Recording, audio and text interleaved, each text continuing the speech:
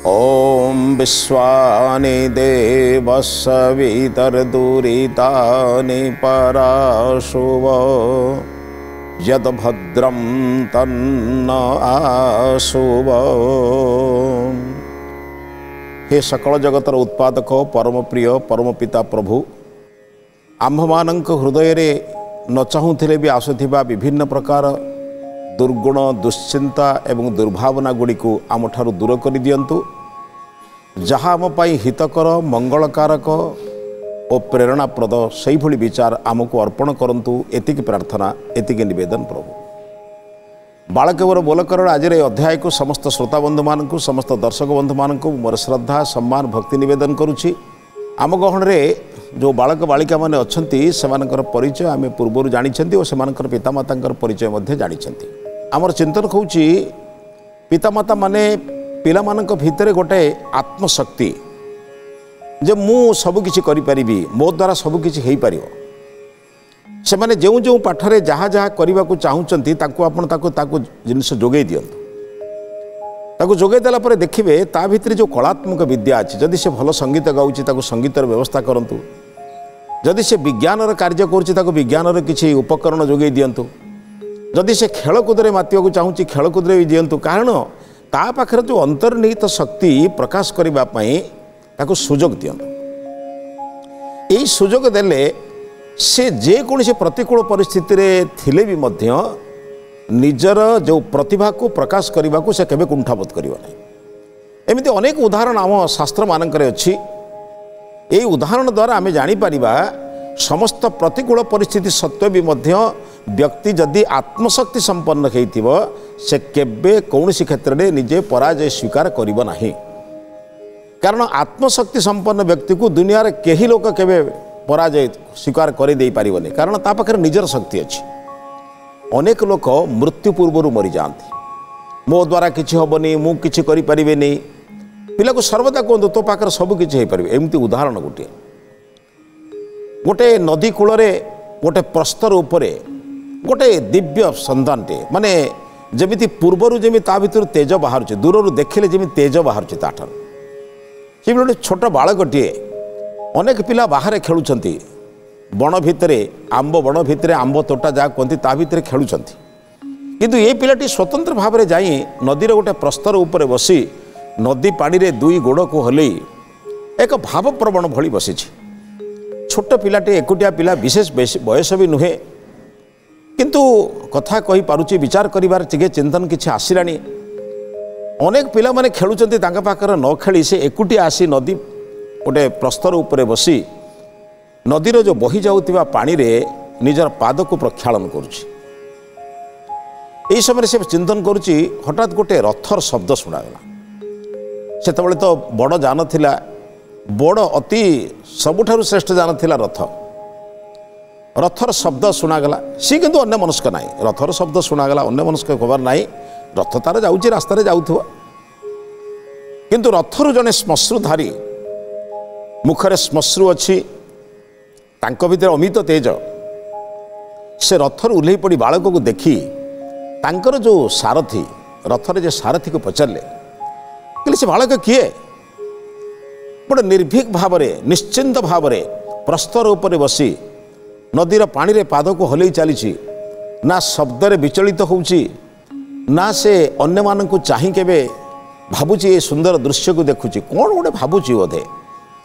କାରଣ ଏ ଶବ୍ଦ ତାକୁ ପ୍ରତି ପ୍ରତିବନ୍ଧକ ସୃଷ୍ଟି କରୁନି। ଏ ଶବ୍ଦ ଦ୍ୱାରା ତାର ମଧ୍ୟ କିଛି ବାଧା ସୃଷ୍ଟି ହେଉନି। ମାତଳି କହିଲେ କହିଲେ ଆଜ୍ଞା ଇଏ ହେଉଛି ଅଧିରଥଙ୍କର ପୁତ୍ର। ଅଧିରଥଙ୍କର ପୁତ୍ର ଇଏ। କହିଲେ କ'ଣ? ତା କର୍ଣ୍ଣରେ ଏବଂ ତାର ଯେଉଁ ଦେହରେ ଆମେ ଦେଖୁଛୁ କବଚ କୁଣ୍ଡଳ। କହିଲେ ଏ କବଚ କୁଣ୍ଡଳ କହୁଛି ତାର ଗୋଟେ ଜୀବନର ସହଚର। ସେ ଯେମିତି ଜନ୍ମରୁ ଜାତରୁ ସହଜାତ ନେଇକି ଆସିଛି। କହିଲେ ପିଲାଟି ଦେହରୁ ତେଜ ବାହାରୁଛି ଏମିତି। କହିଲେ ଆଜ୍ଞା କହିପାରିବିନି କିନ୍ତୁ ସେ ଅଧିରଥଙ୍କର ପୁତ୍ର। ଅଧିରଥଙ୍କ ପୁତ୍ର ହିସାବରେ ସେ ଏକାନ୍ତ ଭାବରେ ବସିଛି ବସିକି ତାର ଖେଳୁଛି। କ'ଣ ପାଇଁ ସେ ଯେ ଏକୁଟିଆ ବସିଛି ଅନ୍ୟମାନେ ନାହାନ୍ତି ମୁଁ କହିପାରିବିନି ଆଜ୍ଞା। ଏ ଶ୍ମଶ୍ରୁଧାରୀ ଯିଏ ତାଙ୍କ ନାଁ ମୁଁ ଜାଣିଛି ଆପଣ ଜାଣିଥାନ୍ତୁ ଶ୍ମଶ୍ରୁଧାରୀ ହେଉଛନ୍ତି ପିତାମହ ଭୀଷ୍ମ। ପିତାମହ ଭୀଷ୍ମ ନିଜର କୌତୂହଳ ରକ୍ଷା କରିପାରିଲେ ନାହିଁ।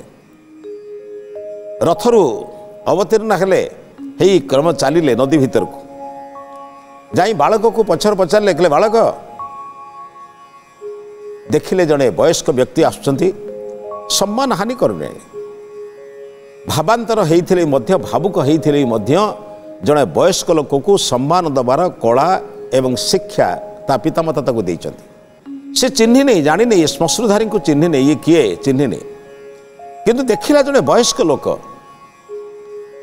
ରଥରୁ ଉତ୍ତୀର୍ଣ୍ଣ ମାନେ ରଥରୁ ଓହ୍ଲେଇ ଆସୁଛନ୍ତି ମୋ ଆଡ଼କୁ। କାରଣ ରଥର ଶବ୍ଦଟା ଶୁଣିଛି ସେ କିନ୍ତୁ ଅନ୍ୟ ମନସ୍କ କେଉଁ ରଥ ଯାଉଛି ଦେଖିବାର ଆବଶ୍ୟକତା ନାହିଁ। ସେ ଶ୍ମଶ୍ରୁଧାରୀଙ୍କୁ ପ୍ରଣାମ କଲା। ପ୍ରଣାମ ପରେ ଯେମିତି ରଥରେ ଯେମିତି ଭାବିଲା ଯେ ଯେମିତି ପ୍ରସ୍ତର ଉପରେ ବସି ଗୋଡ଼ ହଲଉଥିଲା ସେମିତି ହଲେଇଲା। କାହିଁକି ଆସିଛନ୍ତି କ'ଣ ପଢ଼ୁଛନ୍ତି କୁଆଡ଼େ ଯିବେ ଏ ଆଗ୍ରହ ବି ତାର ନାହିଁ। ଅନ୍ୟମାନଙ୍କ ସମ୍ବନ୍ଧରେ ଅଧିକ ବୁଝିବାକୁ ଆଗ୍ରହ ତାର ନାହିଁ। ତାର ନିଜେ ବସିକି ଚିନ୍ତନ କରିଛି ବସିଛି ଗୋଡ଼ ହଲଉଛି। ଇଏ ପଚାରିଲେ ବାଳକ ତୁମର ପରିଚୟ ତୁମେ କିଏ? ନା ମୁଁ ଅଧିରଥର ପୁତ୍ର। ମୁଁ ସାରଥୀ ଅଧିରଥଙ୍କର ପୁତ୍ର ମୁଁ ସୁତ ପୁତ୍ର। କହିଲେ ସୁତ ପୁତ୍ର? ମାନେ ଏକ ଅବଜ୍ଞା ସୂଚକ ପିତାମହ ଭୀଷ୍ମଙ୍କ ପାଟିରୁ ବାହାରିଲା ସୁତପୁତ୍ର ମାନେ ଯେମିତି ଗୋଟାଏ ଅସ୍ପୃଶ୍ୟ। ଯେମିତି ଅନ୍ତତ ପକ୍ଷେ ନିଜର ମୁଁ ଗୋଟେ ଭୁଲ ସ୍ଥାନକୁ ଚାଲି ଆସିଛି ଭୁଲ ପିଲା ସହିତ ମିଶି ଯାଇଛି ଗୋଟେ ଖରାପ ଲୋକ ସହିତ ମିଶି ଯାଇଛି ନିଜ ଭିତରେ ଗୋଟେ ଦ୍ୱନ୍ଦ୍ୱ ସୁତପୁତ୍ର ତମେ? ଏକଥା ଆଗରୁ ସାରଥୀ କହିସାରିଛି। ପିଲାର ତେଜକୁ ଦେଖୁଛନ୍ତି। ପିଲାର କବଚ କୁଣ୍ଡଳକୁ ଦେଖୁଛନ୍ତି। ତା ଭିତରେ ଥିବା ଆତ୍ମତେଜକୁ ଦେଖୁଛନ୍ତି। ତା ସତ୍ତ୍ୱେ ପ୍ରଶ୍ନ ପଚାରିଲା ପରେ ଗୋଟେ ସୁତପୁତ୍ର ବୋଲି ତାଙ୍କ ଭିତରେ ଯେଉଁ ଦ୍ୱନ୍ଦ୍ୱ ସୃଷ୍ଟି ହେଲା ଗୋଟେ ସୁତପୁତ୍ର ତମେ? ଆଚ୍ଛା ଏ ପିଲାମାନେ ଖେଳୁଛନ୍ତି ତମେ ଏକୁଟିଆ ବସିଛ କାହିଁକି? ପ୍ରଶ୍ନ ଅନେକ ପିଲା ଖେଳୁଛନ୍ତି ତମେ ଏକୁଟିଆ ବସିଛ କାହିଁକି? ନା ଆଜ୍ଞା ସେମାନେ ସବୁ ରାଜପୁତ୍ରମାନେ ଖେଳୁଛନ୍ତି। ତାଙ୍କ ସହିତ ତାଙ୍କର ସମକକ୍ଷ ଲୋକମାନେ ଖେଳୁଛନ୍ତି। ମୁଁ କାହିଁ ତାଙ୍କ ସାଙ୍ଗରେ ଖେଳିବି? ମୋର ଖେଳିବାର ଆବଶ୍ୟକତା କ'ଣ? ମୁଁ ତାଙ୍କ ପାଖରେ ଖେଳିବା ପାଇଁ ମୋର ଇଚ୍ଛା ନାହିଁ ଆଜ୍ଞା। ମୁଁ ଏକାନ୍ତରେ ବସିଛି ମୁଁ ତାଙ୍କ ସହିତ କାହିଁ ଖେଳିବି? ଏଇଭଳି ଉତ୍ତର ଶୁଣି ସାରିଲା ପରେ ପିତାମହ ଭୀଷ୍ମଙ୍କୁ ସେ ଚିହ୍ନିନେ। ପିତାମହ ଭୀଷ୍ମ ମଧ୍ୟ କେବଳ ଦେଖୁଛନ୍ତି ସେ ସାରଥୀଙ୍କର ପୁତ୍ର ସୁତପୁତ୍ର ଭାବରେ।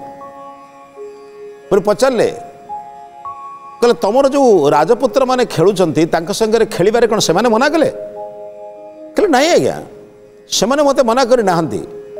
କିନ୍ତୁ ଆପଣ ଜାଣିନାହାନ୍ତି ମୁଁ ତାଙ୍କ ସାଙ୍ଗରେ ଯେତେବେଳେ ଖେଳୁଛି ସବୁବେଳେ ସେ ହାରୁଛନ୍ତି ଯେଉଁ ଖେଳ ଆମେ ଖେଳୁଛୁ ଧରନ୍ତୁ ମିଥ୍ୟାରେ କୌଣସି ତରବାରୀ ଯୁଦ୍ଧ ହେଉ କିମ୍ବା ଦ୍ୱନ୍ଦ୍ୱ ଯୁଦ୍ଧ ହେଉ କିମ୍ବା ଗଦା ଯୁଦ୍ଧ ହେଉ ଯାହା କିଛି ଯୁଦ୍ଧ ଆମେ ସାଙ୍ଗରେ ଖେଳୁ ସାଙ୍ଗସାଥି ହିସାବରେ ଖେଳୁଛୁ ସବୁବେଳେ ସେ ପରାଜୟ ହେଉଛନ୍ତି ଗୋଟେ ପରାଜୟ ପାଉଥିବା କିଛି ପିଲାମାନଙ୍କ ସହିତ ବାରମ୍ବାର ଖେଳିବା ମୁଁ କାହିଁ ନିଜକୁ ସମକକ୍ଷ ମନେ କରୁନି ନିଜ ଭିତରେ ମୁଁ ଭାବୁଛି ମୋର ଆତ୍ମସମ୍ମାନ ନଷ୍ଟ ହେବ କି ନିର୍ଭୀକ ଉତ୍ତର ରାଜପୁତ୍ରମାନେ ବାରମ୍ବାର ବାରମ୍ବାର ପରାଜୟ ସ୍ୱୀକାର କରୁଛନ୍ତି ପରାଜୟ ସ୍ୱୀକାର କରୁଥିବା ଦଳେ ପିଲାଙ୍କ ସହିତ ମୋର ସମାଜକନ୍ଦ ସେମାନେ ନୁହନ୍ତି।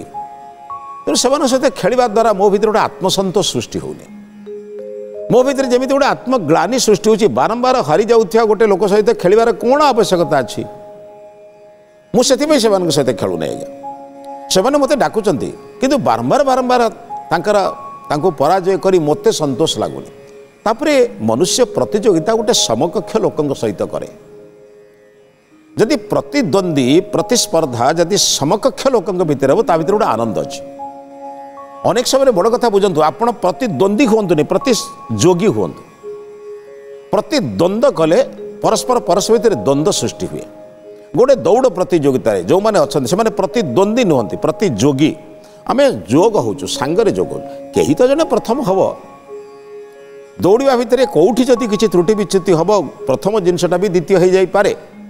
କିନ୍ତୁ ବାରମ୍ବାର ବାରମ୍ବାର ହାରୁଥିବା ଲୋକଟା ସେ ନିଜେ ଅନୁଭବ କରିବ ଯେ ମୁଁ ଏ ହାରୁଥିବା ଲୋକଙ୍କ ସାରା ବାରମ୍ବାର ଖେଳିବା ସହିତ ମୋର କ'ଣ ମିଳିବ ସେଥିପାଇଁ ପ୍ରତିଯୋଗୀ ଉପଯୁକ୍ତ ସମକକ୍ଷ ହୋଇଥିବା ଦରକାର।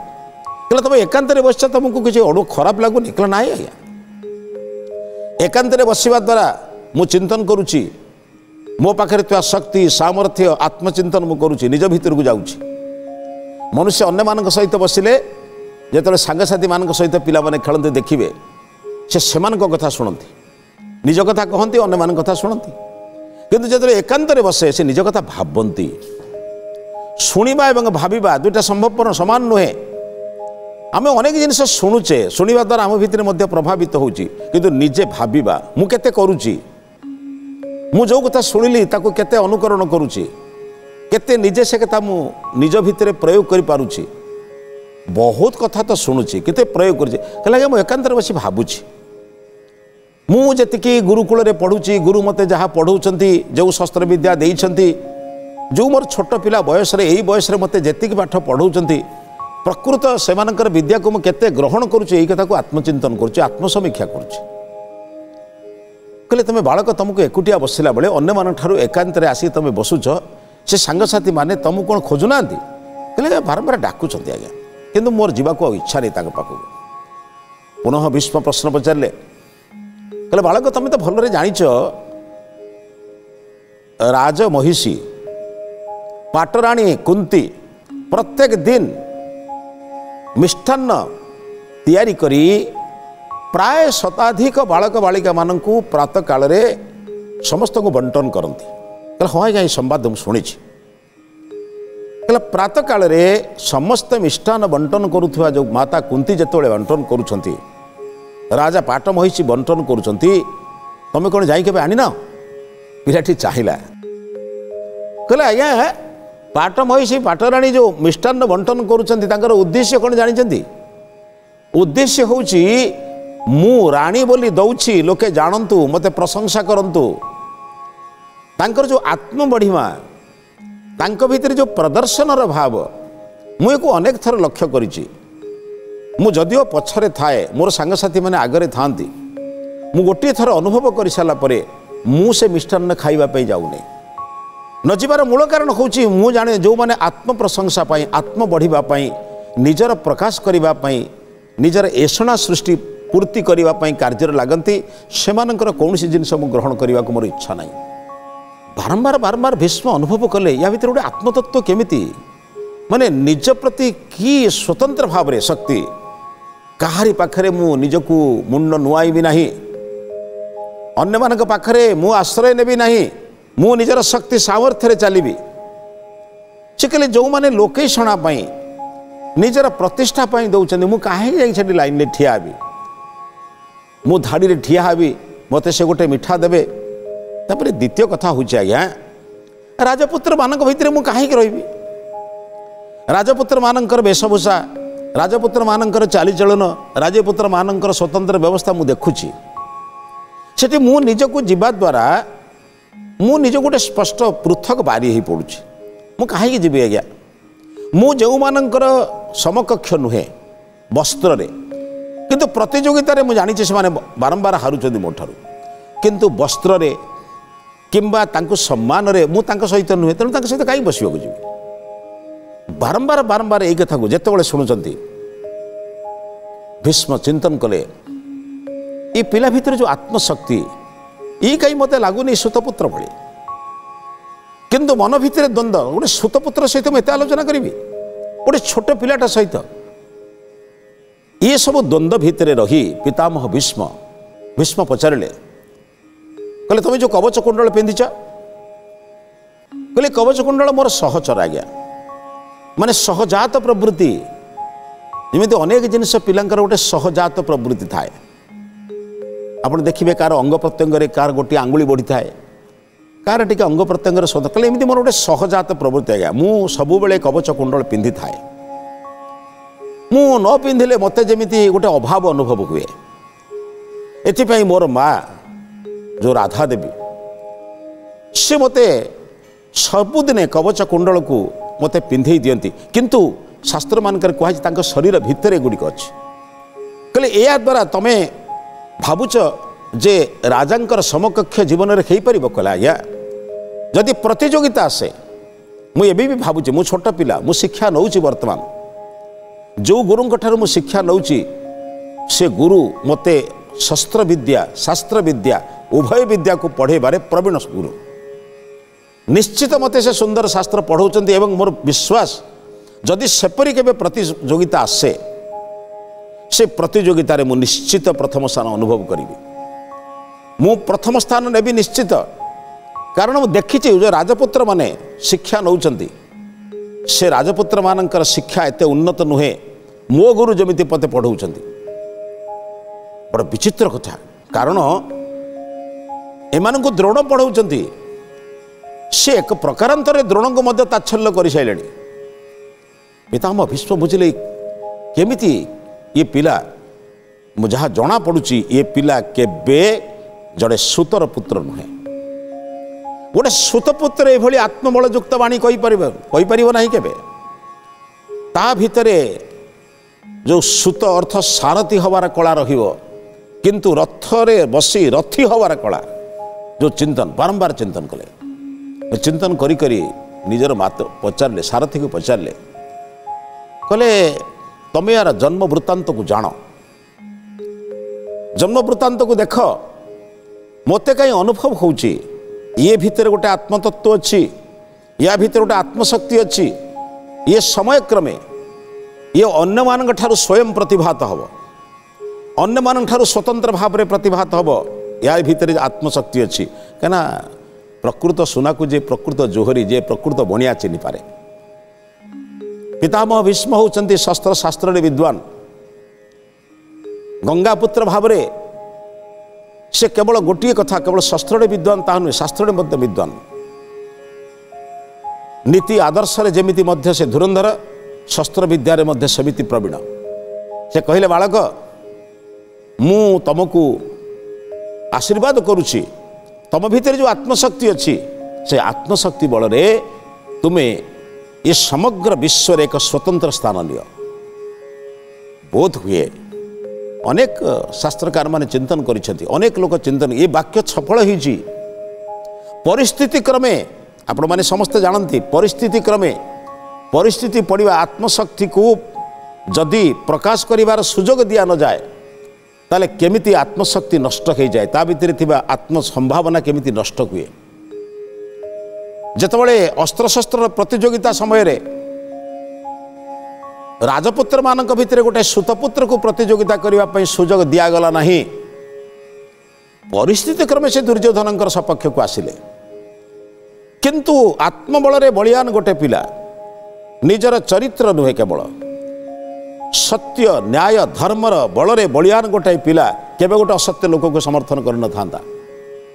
କାରଣ ସେଦିନ ଗୋଟାଏ ତ୍ରୁଟି ବିଚ୍ୟୁତି ଅନେକ ସମୟରେ ଆମର ଗୋଟିଏ ଗୋଟିଏ ଛୋଟିଆ ଛୋଟିଆ ଭୁଲ ପାଇଁ ଆମର ପିଲାମାନେ ଜୀବନଯାକ କଷ୍ଟ ପାଆନ୍ତି। ଆପଣମାନେ ପରବର୍ତ୍ତୀ କ୍ଷେତ୍ରରେ ଜାଣିଛନ୍ତି କୁନ୍ତୀଙ୍କର ସାମାନ୍ୟ ତ୍ରୁଟି ପାଇଁ ଭବିଷ୍ୟତରେ କର୍ଣ୍ଣ ଭାବରେ ସୁତପୁତ୍ର କର୍ଣ୍ଣ ଭାବରେ। ତାଙ୍କର ପ୍ରତିଭାରେ ବିକଶିତ ହେଇଥିଲେ ବି ସେ ଅନ୍ୟମାନଙ୍କ ପାଖରେ ଉପଯୁକ୍ତ ସମ୍ମାନ ପାଇପାରିଲେ ନାହିଁ। ବନ୍ଧୁ ଏପରି କିଛି କରନ୍ତୁ ନାହିଁ। ଆପଣଙ୍କର ସନ୍ତାନ ସନ୍ତତିମାନେ ଅନ୍ୟମାନଙ୍କ ପାଖରେ ଲଜ୍ଜିତ ହେବେ। ଅନ୍ୟମାନଙ୍କ ପାଖରେ ନିଜର ମୁଣ୍ଡ ଟେକି ଚାଲିପାରିବେ ନାହିଁ। ଏପରି କିଛି କାର୍ଯ୍ୟ କରନ୍ତୁ ନାହିଁ। ନିଜର ପିଲା ଭିତରେ ଥିବା ସମ୍ଭାବନାକୁ କିନ୍ତୁ ଅଧୀରଥ ଚେଷ୍ଟା କରିଛନ୍ତି ନିଜର ପୁତ୍ରକୁ। ଉପଯୁକ୍ତ ଗୁରୁଙ୍କ ପାଖରେ ଶସ୍ତ୍ରବେଦୀ ଯେତେବେଳେ ଶସ୍ତ୍ର ପ୍ରତି ତାର ଆଗ୍ରହ ଅଛି ଶସ୍ତ୍ର ଜ୍ଞାନ ଜାଣିବା ପ୍ରତି ପ୍ରବଳ ଆଗ୍ରହ ଅଛି ତେଣୁ ତାକୁ ଉପଯୁକ୍ତ ଗୁରୁଙ୍କ ପାଖରେ ପଢ଼ି ଶସ୍ତ୍ରବିଦ୍ୟାରେ ପ୍ରବୀଣ କରାଇଲେ। ପ୍ରତିଯୋଗିତା ଭିତରେ ଯେତେବେଳେ ଅନୁଭବ କଲେ ସେତେବେଳେ ଦୁର୍ଯ୍ୟୋଧନ କେବଳ ତାର ଶକ୍ତି ସାମର୍ଥ୍ୟକୁ ଚିନ୍ତନ କଲେ କାହିଁକିନା ପ୍ରତିଯୋଗିତା ଭିତରେ ଶକ୍ତି ସାମର୍ଥ୍ୟରେ ପରିପ୍ରକାଶ ହୁଏ। ଦୁର୍ଯ୍ୟୋଧନ ସେତେବେଳେ କହିଲେ ମୁଁ ତାଙ୍କୁ ଅଙ୍ଗ ଦେଶର ରାଜ୍ୟ ରାଜା ବୋଲି ଘୋଷଣା କରୁଛି। କିନ୍ତୁ ଏଇଟା ବଡ଼ କଥା ନୁହେଁ।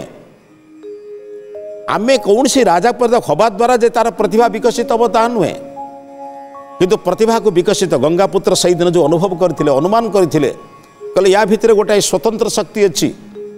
जो पिला ये स्वाभिमानी, जी कहूँ राजपुत्र मैंने बारंबार पराजित होती तो मुझे सागर गोटे छोट पाटा खेल बयस कहूँ बारंबार पराजित होती खेली, निजर सम्मान को नष्ट करी कहीं କି ଆତ୍ମବଳ କି ସ୍ୱାଭିମାନ ଜୀବନ ସାରା ସର୍ବଦା କୁନ୍ତି ଯେତେବେଳେ ମିଷ୍ଟାନ୍ନ ଖାଇବା କଥାରେ ପ୍ରଶ୍ନ ପଚାରିଛନ୍ତି ସେତେବେଳେ ସେ ଆଉ ଗୋଟେ କଥା କହିଛି ଆଜ୍ଞା ଆପଣ ବହୁତ ବୟସ୍କ ଲୋକ। ଜୀବନ ସାରା ଆଜ୍ଞା କାହାଠାରୁ ମାଗି ଖାଇବାର ଅଭ୍ୟାସ ମୋର ନାହିଁ। ମୁଁ ଜୀବନରେ ଚେଷ୍ଟା କରିଛି ଅନ୍ୟକୁ ଦେବା ପାଇଁ ନେବା ପାଇଁ ମୁଁ ଚେଷ୍ଟା କରିନି। ଜୀବନରେ ଚେଷ୍ଟା କରିଛି ମୋ ଠାରୁ କେମିତି ମୋ ପାଖରେ ଯେତିକି ଅଛି ଆଉ କାହାକୁ ଦେବି। ଅନ୍ୟ କାହାଠାରୁ ଆଣିକି ବଞ୍ଚିବି ଏଭଳି ଭାବନା ମୋ ହୃଦୟରେ ନାହିଁ। ଆପଣମାନେ ସମସ୍ତେ ଜାଣିଛନ୍ତି ଶେଷକୁ ନିଜର କବଚ କୁଣ୍ଡଳକୁ ବି ଦାନ କରିଦେଇ ମହାଦାନୀ ଭାବରେ ଇଏ ସମଗ୍ର ବିଶ୍ୱରେ ଏକ ମହାଦାନୀ ଭାବରେ ଏକ ସ୍ୱତନ୍ତ୍ର ପରିଚୟ ରଖିଲେ। ଯାହା ପ୍ରତି ପିଲାଟି ବେଳୁ ଜଣାପଡ଼ୁଥିଲା ସେ କହିଲେ ମୁଁ କାହା ପାଖରେ ମୋର ନିଜ ହାତ ପ୍ରସାରଣ କରି ମୁଁ କାହାଠାରୁ ମାଗି ଆଣିବି? ଏ ଇଚ୍ଛା ମୋର ନାହିଁ। ମୋର ଇଚ୍ଛା ମୁଁ ଅନ୍ୟମାନଙ୍କୁ ଦେବି। ମୁଁ ମାଗି ମିଷ୍ଟାନ୍ନଟି ଖାଇବି ତାହା ନୁହେଁ। ମୁଁ ଅନ୍ୟମାନଙ୍କ ଠାରୁ ଚେଷ୍ଟା କରିବି ମୋ ପାଖରେ ଯେଉଁ ମିଷ୍ଟାନ୍ନ ଅନ୍ୟମାନଙ୍କୁ ଦେବି। ପିତାମହ ଭୀଷ୍ମଙ୍କ ପାଖରେ ଗୋଟେ ବାଳକ ନିଜର ପ୍ରକାଶ କରୁଛି ଆତ୍ମଶକ୍ତି ସ୍ୱାଭିମାନ ବନ୍ଧୁ ପିଲାମାନଙ୍କ ପାଖରେ ଆପଣଙ୍କ ପିଲାମାନଙ୍କ ପାଖରେ ଯେଉଁ ସ୍ୱାଭିମାନ ଅଛି ତା ସ୍ୱାଭିମାନକୁ ବଢ଼ାନ୍ତୁ। ସବୁକିଛି ମୁଁ କରିପାରିବି ବୋଲି ତା ଭିତରେ ଏକ ଶକ୍ତି ସାମର୍ଥ୍ୟ ଦିଅନ୍ତୁ। ଦେଖିବେ ଆପଣଙ୍କ ପିଲା ସର୍ବୋଚ୍ଚ ହେବ ସର୍ବଶ୍ରେଷ୍ଠ ହେବ ଏବଂ ଅନ୍ୟମାନଙ୍କ ଠାରୁ ପ୍ରତିବାଦାରୀ ହେବ। କିନ୍ତୁ ଆପଣମାନଙ୍କର ସହାୟତା ଆବଶ୍ୟକ। ତେଣୁ ଉପଯୁକ୍ତ ପିତାମାତାମାନେ ପିଲାମାନଙ୍କର ସମ୍ଭାବନାକୁ ବଢ଼ିବାକୁ ଚେଷ୍ଟା କଲେ ମୋର ବିଶ୍ୱାସ ପିଲାମାନଙ୍କ ଭିତରେ ଥିବା ଆତ୍ମଶକ୍ତି ପ୍ରକାଶିତ ହେବ ଏବଂ ସମାଜରେ ସେ ଗୋଟେ ଭଲ ମଣିଷ ହିଁ ବାହାରିବ। ଏହି ବିଚାର ସହିତ ଆଜିର ଅଧ୍ୟାୟକୁ ଏଠି ସମାପ୍ତ କରୁଛି। ଏହି ଅଧ୍ୟାୟକୁ ସମାପ୍ତ କରିବା ପୂର୍ବରୁ ଆଜିର ମହତ୍ବାଣୀ ସମ୍ପର୍କରେ ଚିନ୍ତନ କରିବା। ଆତ୍ମଶକ୍ତି ଏବଂ ସ୍ୱାଭିମାନ। ଅନେକ ଲୋକଙ୍କର ସହଜାତ ପ୍ରବୃତ୍ତି ବାଳକ ଅବସ୍ଥାରୁ ଜଣାପଡ଼େ। ସହଜାତ ପ୍ରବୃତ୍ତି ଭାବରେ ଯେଉଁ ଗୁଣଗୁଡ଼ିକ ଗୁରୁଜନମାନେ ଦେଖୁଛନ୍ତି ସେଇ ଗୁଣକୁ ବୃଦ୍ଧି କରିବା ପାଇଁ ପିତାମାତା ସହାୟତା କଲେ ପିଲାମାନଙ୍କ ଭିତରେ ଥିବା ଆତ୍ମଶକ୍ତି ନିଶ୍ଚିତ ବୃଦ୍ଧି ହେବ। ଏହି ବିଚାର ସହିତ ଆଜିର ଅଧ୍ୟାୟକୁ ଏଠି ସମାପ୍ତ କରୁଛି। ସମସ୍ତଙ୍କୁ ନମସ୍ତେ